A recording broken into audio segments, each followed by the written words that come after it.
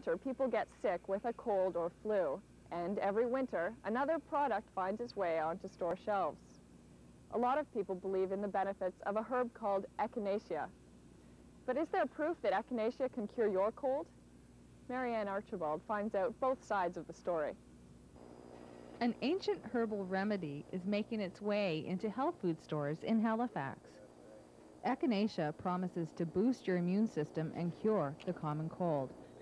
Basir Subhani owns the Supernatural Health Food Store. It's a good herb, and if you uh, are fighting any cold and flu, don't hesitate to try echinacea first, and you see the result. Echinacea sells from between 10 to $30, and Subhani says its popularity is catching on. At the beginning, there was only one company who used to make this, and we had only one product on the shelf.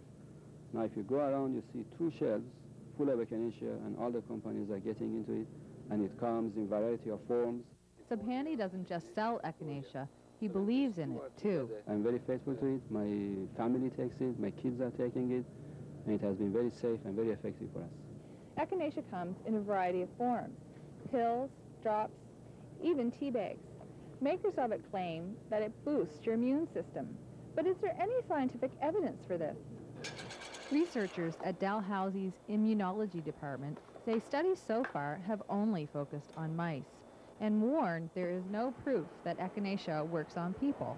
Dr. Tim Lee heads a research project at Dalhousie.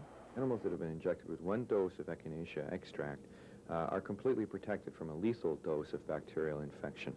All the animals that were injected with echinacea survived. The animals not injected died in this experimentation.